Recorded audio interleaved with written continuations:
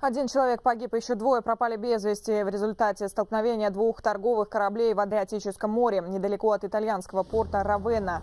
В результате судно, которое шло под турецким флагом, затонуло. Известно, что второе судно шло под флагом Белиза. Сейчас на месте ЧП работают спасатели. По предварительной информации, причиной столкновения могла стать плохая видимость.